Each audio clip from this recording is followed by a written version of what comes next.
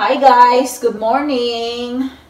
Katapos ko lang ligpitin yung mga hugasin. Dami kong hugasin na kaldero.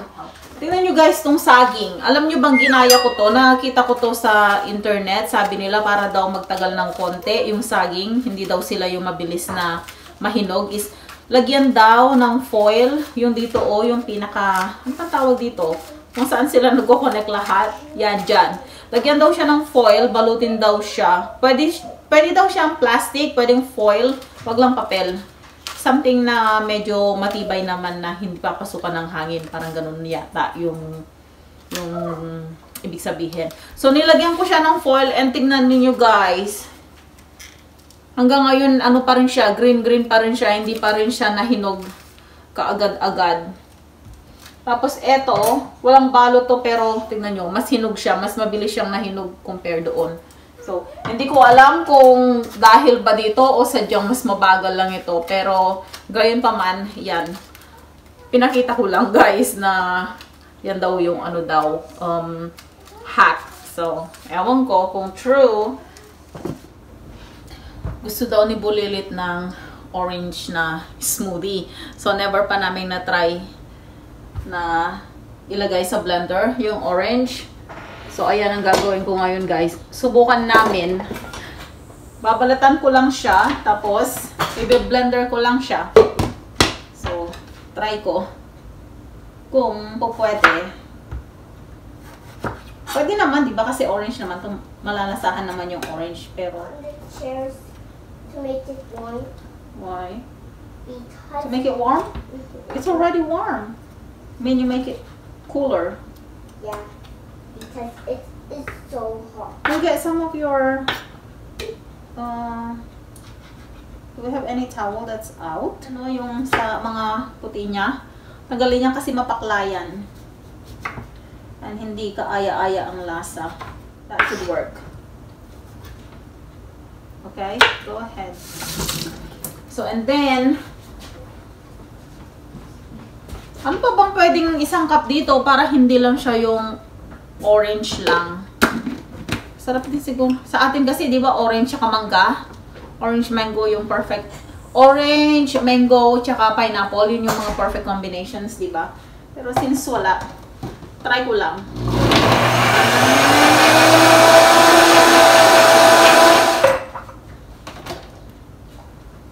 Ayan guys. O, di ba? Yung orange naging yellow. Oh, mabango. Yun guys, hindi ko alam kung gusto gusto niya to. Sana hindi maasim. Tingnan ko muna. Na tayo sa labas. Try natin kung magusto niya. Here, try it. Mm. How is it? Good. You like it? Mhm. You like it when you when you drink it or do you like it better when you just eat it as a fruit? Um, I think I like it when I just eat it like a fruit. You don't like a shake? You don't like that? I kind of like it. You like it? Okay. Mhm. Alright, make sure you drink it all, okay?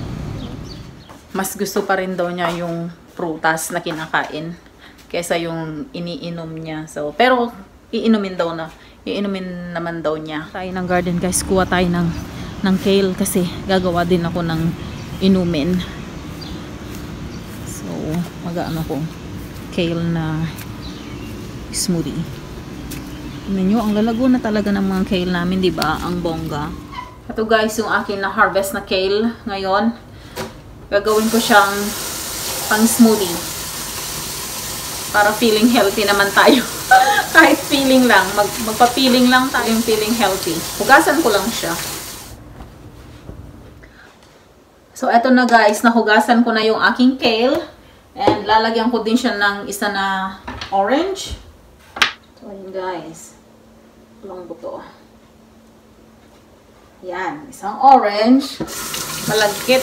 Tapos, lalagyan ko din siya ng isang apple.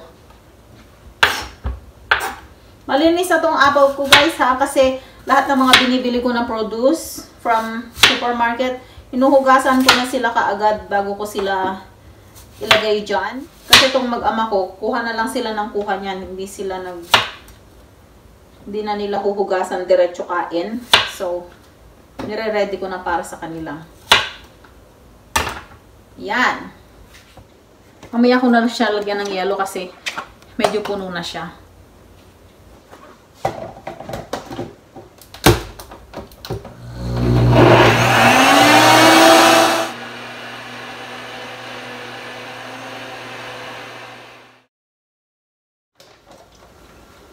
Yan guys, signan nyo. Hala, ang green niya. Napadami yata yung lagay ko na kale. Pero okay lang. Gusto ko naman yung kale. So, ayan, let's see kung matamis. Kung matamis o mapakla. Mapait. Mm.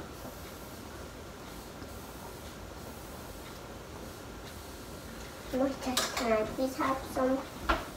Mm. Masarap siya guys. Tingnan nyo naman yung naubos ko. Try daw niya. It's good, right? Ayaw daw niya. Why? It's good. Kale is good. Kapag iniinom kasi siya, hindi mo naman talaga siya malalasahan yung pakla ng kale. Pero kapag nalunok mo na siya, yung sa dila mo ba, may aftertaste siya. Yun siguro yung nalasahan niya.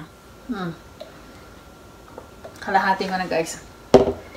Para sa kalusugan. Tapos guys, alam nyo, eto itong mga itong mga balat ng oranges. Lalagay ko siya dito sa aking um, microwavable na ganito, mixing mixing cup. Yan, pati na rin yung apple na pinagkuhanan ko. Ayan, tapos lalagyan ko siya ng konting tubig. Yan, lagyan siya ng konting tubig. Tapos, ima-microwave ko. Tapos, magiging mabango ang aming bahay. Ano daw to? Um, natural, ano ba tawag nila kasi? Natural daw na air freshener. So, ayan. Lagi kong ginagawa yun kapag nagbabalat ako ng mga oranges or meron akong mga mga pinagbalatan ng mga ang tawag dito, kahit lemon or kahit na lime, kahit apples, cinnamon, ayan, nilalagay ko siya dyan. Mga 2 to 3 minutes, mabango na yan. And pwede mo siyang gamitin ulit, hindi lang once na after 3 minutes, ganyan. Dyan lang yan sa microwave, hindi ko siya tatanggalin. And then mamayang hapon ulit, or kahit na, you know, kung kailan mo siya gustong i-on, on mo lang siya and mabango talaga siya, promise. Another kitchen hack. Oranges. The orange peel, ang bango na. Kahit siya naamoy na niya, sabi niya ano daw yung nasa microwave, bakit daw mabango. So, ayan. Chill-chill muna tayo guys, inom. Hmm. So, anyhow, tignan nyo naman guys ang aking bulilit. Gumawa siya ng kanyang sarili niyang Father's Day card. So, ayan. Nagkamali siya ng spelling sa father. Kaya binura namin pero it's all good sariling gawa. So, it's uh, it's the thought that counts, sabi nga. So, ayan. Meron din siyang drawing dyan. Ayan, guys. Ayan ang kanyang personalized Father's Day card. Natatawa. Tingnan nyo naman, guys, yung laman niya. Sabi niya. Ayan. O, mapasa nyo ba yan, guys? Balik, baligtad ba sa screen ninyo kapag ganyan? Anyhow, so ayan. Ayan po ang kanyang personalized Father's Day card. Hmm. O, diba? Ang sweet lang. Tapos, meron pa siyang drawing. Drawing ng kanyang ng kanyang tatay at saka daw siya ano go holding hands daw sila. At saka huwag kalimutan ng puso. Kailangan natin ng puso. So ayan guys ang kanyang personalized Father's Day card. So ayan. O diba ang sweet lang. Here you go. Ang bango! Ang bango-bango ng kusina, guys. Promise, mabango. Hmm. Kapag may mga balat-balat kayo dyan, mga prutas-prutas, microwave. Walang microwave kahit sa stove top lang, lagyan nyo lang siya ng tubig and pakuluan ng pakuluan. Talagang mabango. Ang fresh ng amoy. Very refreshing ng amoy kasi citrus siya, di ba? So, masarap siya sa ilong. Say herbs. What is it then? It starts with B. Read it. I'm going to, to tell you Just read it. You know how to read. it's B A S I L. Okay, try to read it. Gano'n na. Yung aking mga pechay guys, malalaki na, di ba? Pwede na. Real soon. Magpapakita ang gilas daw muna siya. Let me see. Wow! That's high enough. Ang init ngayon guys. Sobrang init. Tapos ano pa, humid pa. Here, let me see your cartwheel. What? No. Just once. Can you try once, please? Yep, just one. Just one. In the middle, so it's nice and fluffy. Remember, just one. Okay, just once. Okay, cartwheel, go. I told you. That's okay. Come on, get up. Mommy, What? I was think that wasn't. I got a little dizzy and then I fell. Oh, that's okay. You're a big girl.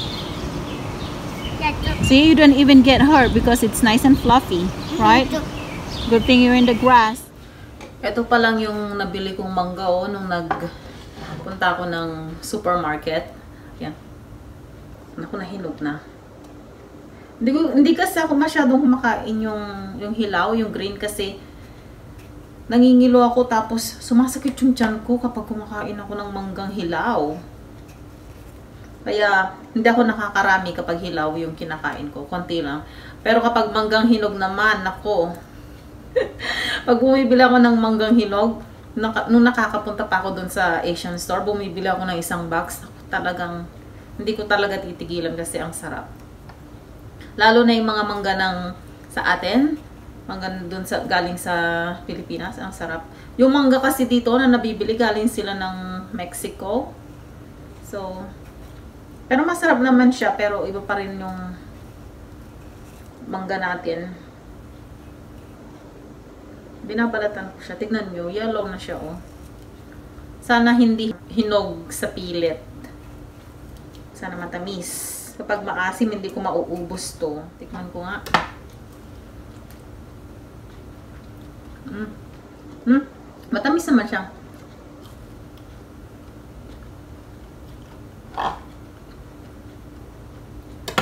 Sakto meron pa akong bagoong.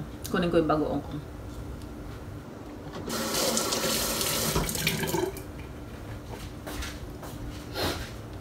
Tignan nyo guys. Ano ba to? Ginisang bagoong. Tig ano siya? $8.49 siya. Best purchase ever. Malapit ko na siyang maubos so konti na lang. Kalahati pa pala. Kalahati na lang. Pag nagluluto ako ng pagkain na may ganito, dapat sa labas kasi mabagsik guys. Super. As in talaga. ilang araw na hindi mawawala yung amoy sa loob ng bahay. Mm.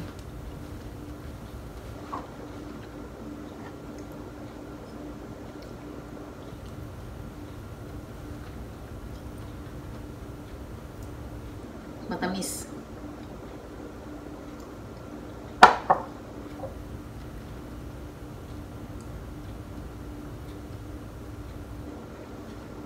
Nabili ko pa to dun sa Asian store na malayo. Yung pinakamalaking nag-iisang Filipino store pala dito sa may state namin. Malayo yun guys, yung biyahe may higit din isang oras. So, sasadyain mo talaga kapag pupunta ka doon.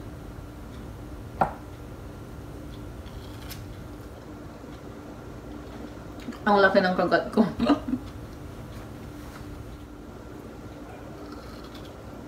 Hmm.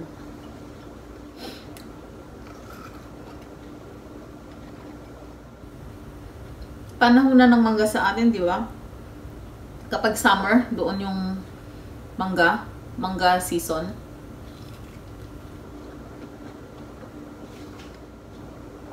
Ay, ang sarap.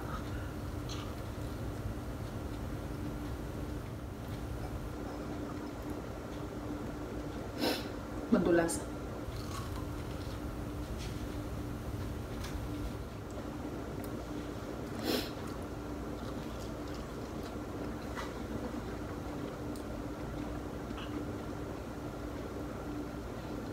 Sana hindi sumakit yung tiyan ko. Kasi parang, ito lang yata yung pagkain na ayaw ng tiyan ko. Bilis ko kumain, no? Saan kaya galing to? Hi! Do you want some mango?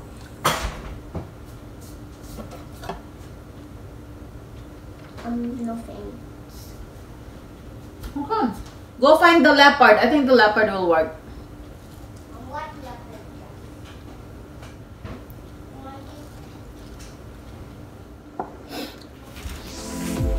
Nagliligo siya. Tingnan natin. Ano ba ginagawa nito? Naku, nagsisunbathing daw. What are you doing? You sunbathing? Did you put sunscreen? Yeah. Oh, let me see. Daddy said it was a little hard to rub it in. Let me see. No, how do you sunbathe? Wow. Sunbathing, huh? Cool. Look how tall you are now. Oh, you got a big girl's bike coming, huh? Mm-hmm. It, it's going to be the color pink. Color pink? I thought purple is your favorite. Inch, right? 16 inch, a big girl's bike. Ako tingnan. Sunbathing na talaga siya. Say hi!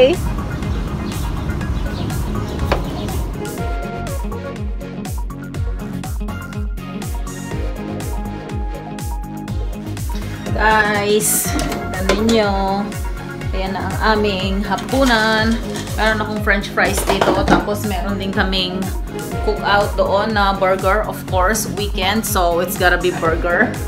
Ayun, dito na yung aking roll. That's it, guys. Thank you so much for watching. And please hit like and subscribe. And we'll see you again next time. Bye!